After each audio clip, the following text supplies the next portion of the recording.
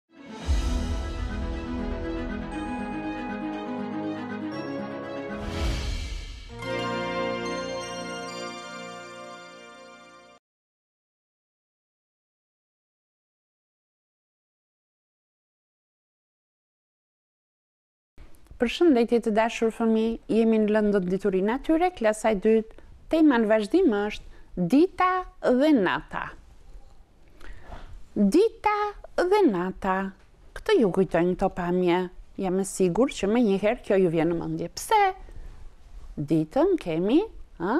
toka ndriçohet nga Rrezet e diellit pra ndriçohet nga drita e diellit.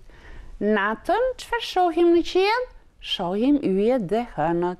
Pra kemi mungesë të rrezeve të diellit të dritës së diellit themi që toka është në errësirë. Mirëpo sa zgjat kjo ditë dhe natë dhe si ndodh kjo ditë dhe natë? Rikujtojmë mësimet e kaluara. Dita dhe nata ndodh Sepse toka rrotullohet rreth boshtit të saj, ajo zgjat njëzet, afërsisht njëzet e katër orë. Një pjesë të orëve janë në ditë dhe një pjesë të orëve gjatë kësaj periudhe janë në natë. Pra toka është Zhytur në errësirë, ajo pjesë e tokës fëmijë e theksoj gjithmonë. Një rrotullim i plotë edhe një herë i tokës rreth boshtit të saj zgjat rreth njëzet e katër orë. Vazhdoj.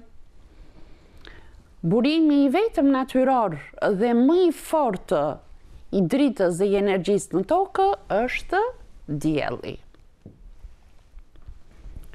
Kemi tre momente të ditës. Lindje, perëndim, perëndim.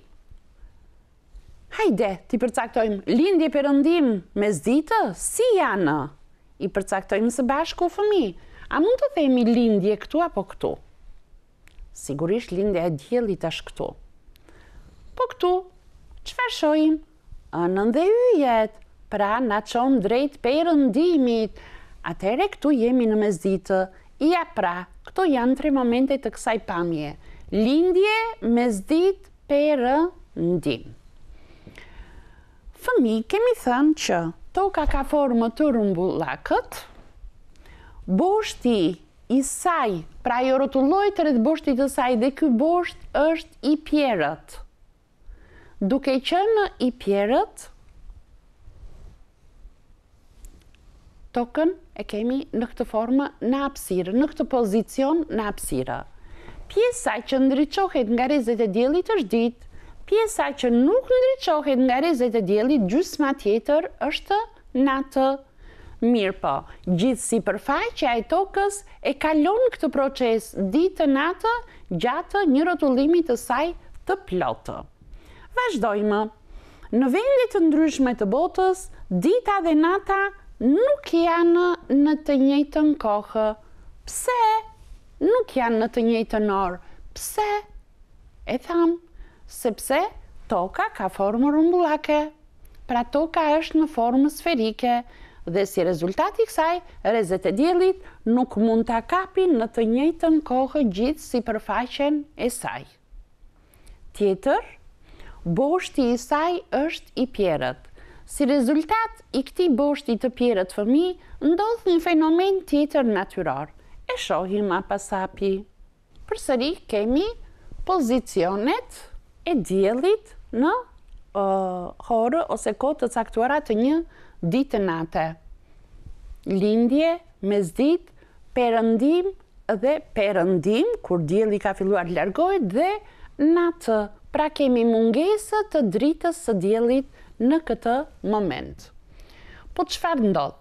Gjatë një rrotullimi të plotë të boshtit të tokës rreth boshtit të saj, kemi thënë se formohet ditë-nata, e kemi përsëritur shumë herë, dhe tani unë nuk e diskutoj që ju nuk do ta harroni më fëmijë, këtë do ta mbani mend përmendësh, por çfarë ndodh tjetër, gjatë rrotullimit të tokës rreth boshtit të vet, vërejmë ndërrimin e ditës dhe natës mirëpo, gjatë vitit ne vërejmë që dita dhe nata, Zgjaten dhe shkurtohen kundrejt njëra-tjetrës dhe kjo është rezultat i pjerrësisë së boshtit të Tokës.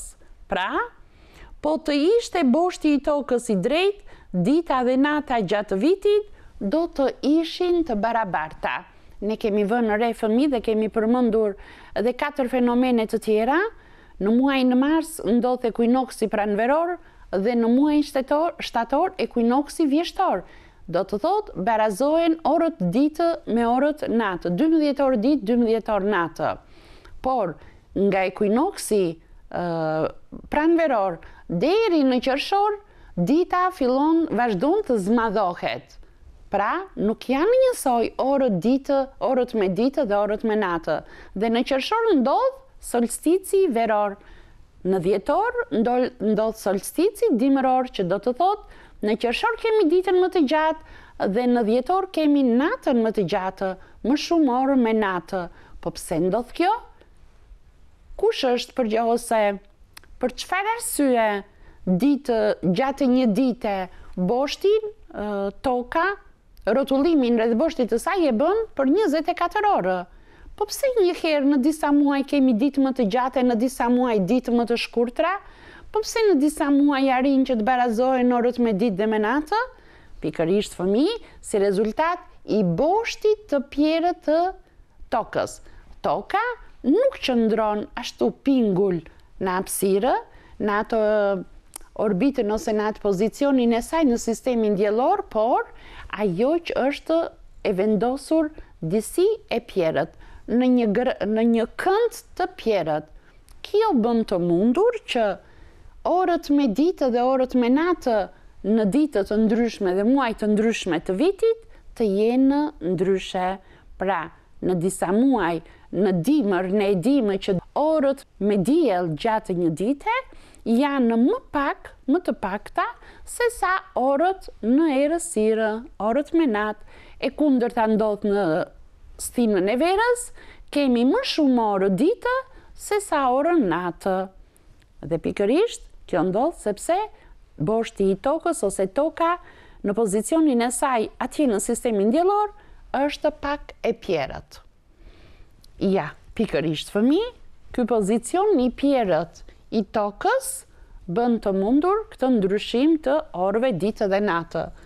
Nëse do të ishte kështu, drejt boshti i tokës, si thamë fëmijë, do të ishin të barabarta ditë, orët me ditë dhe me natë në të gjithë vitin, gjatë gjithë kohës. Vazhdojmë. Kemi disa momente ë të ndryshme të kohës, por veprimet që ne bëjmë, si themi, në mbrëmje, natën, ne flemë, dhe ngrihemi kur ngrihemi, në mëngjes, kur ka dalë dielli, pra kur ke, kur ka filluar dita, kur ka filluar të ketë dritë në horizont. Këtu si e shohim diellin? Pozicioni lindje, Në mesditë dhe në perëndim, cila është koha e zgjimit nga gjumi? Pikërisht lindja e diellit dhe ne fillojmë aktivitetin tonë ditor të ri. Në mesditë jemi në kulmin e aktivitetit tonë ditor dhe në mbrëmje kur dielli fillon të largohet dhe i lë vëndin natës, vjen ora e gjumit, pra të gjithë ne shkojmë ë dhe qetësohemi flem, ja pikërisht këtë tregon edhe kjo pamje. Çdo ditë të çohemi kur është dritë, pra kur ka lindur dielli thënë ndryshe, dhe flemë kur është errësirë ose kur është natë. Kur dielli perëndon, fillon errësira, pra i ka lënë vendin errësirës. Dalëngadalë fëmijë, erdhëm në fund të mësimit. Folëm për ditën dhe natën. Po folëm dhe për orët me diell dhe orët në errësirë. Pra, ato nuk janë të njëjta gjatë të gjithë muajve të vitit. Arsyeja, e përsëritim dhe njerë, këto orë nuk janë të njëjta sepse boshti i tokës është i pjerrët dhe ky ndikon që orët me diell dhe orët në errësirë gjatë vitit të jenë të ndryshme. Dita dhe nata formohet sepse toka rrotullohet rreth boshtit të vet. Po stinët ndryshojnë në temperaturat pse fëmijë sa zgjat kjo ose një rrotullim i plotë i tokës rreth diellit zgjat treqind e gjashtëdhjetë e pesë ditë e gjashtë orë dhe pikërisht arsyeja e krijimit të stinëve një herë më nxehtë dhe një herë më ftohtë është kjo boshti i pjerrët i tokës ky bosht luan rol